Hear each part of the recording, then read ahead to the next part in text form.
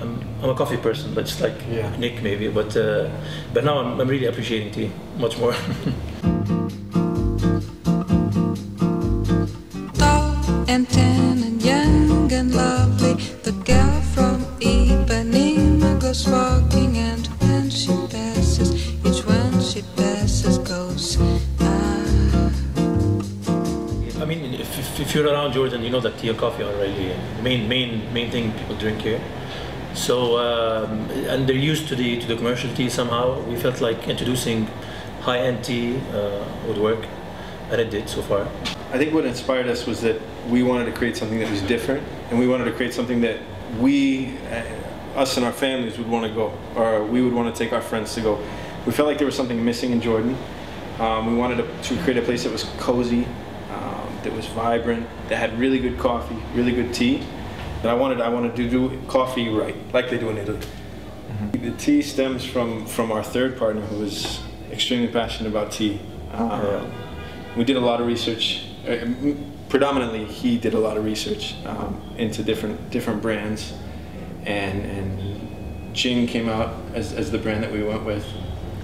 Yeah, Jing is really they're really selective with the tea they pick. I mean, they have their own farms and some in China, some in India, and uh, we cover all all kinds of tea from yellow, black, white, green tea.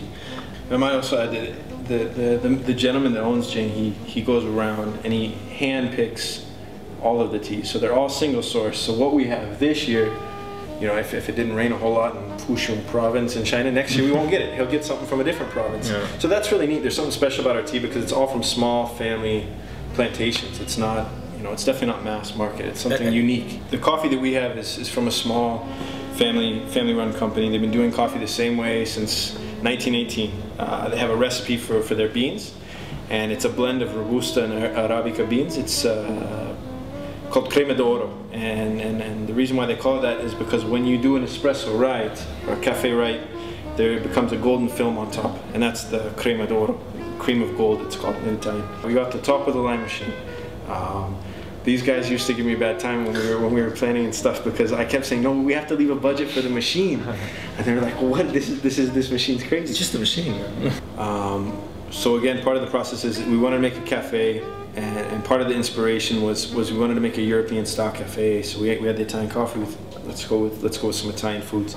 Um, so a friend of mine, uh, Sicilian, he provided us with a recipe for our bread. We went to a local baker. We worked out a situation where we could produce the bread for panini here in Jordan. Um, we source all of our meats and cheeses uh, from Italy. Uh, it's all top quality, uh, turkey, bresaola, all of our cheeses, the gorgonzola, the, the fontina, the grana padano, it's all from Italy. Uh, and then we also do desserts. Yeah, well, they're all homemade desserts. I mean, uh, some of them are getting famous and asked by, by everyone who comes here. So, um, but everything, I mean, everything is handpicked and being selected properly. So we really care a lot about the quality and uh, the way we serve our uh, food, tea, and, uh, drinks, and everything. And, and I feel people here are, are just not. Unfortunately, they're just used to the. I want to say okay, okay service. That they get. Status quo. Yeah. The, And you don't, I mean, even if someone gets you something that you haven't ordered, you tend to say, okay, bitmoon in Arabic, we say bitmoon. So, I mean, it's all right, I'll, I'll just take it. So, uh, I mean, and they, when they know that there's there's more to it, you can really order something and get it the right way. I think we ensure quality by, by having a presence here. Um, we ensure quality, you know, one of us is always here. Uh, but I think we ensure quality by also instilling pride in our employees with what they're doing. So we, we teach them about the tea, we teach them about the coffee, and we, we they're already passionate to a certain degree when they come because we're looking for people that share share our mindset.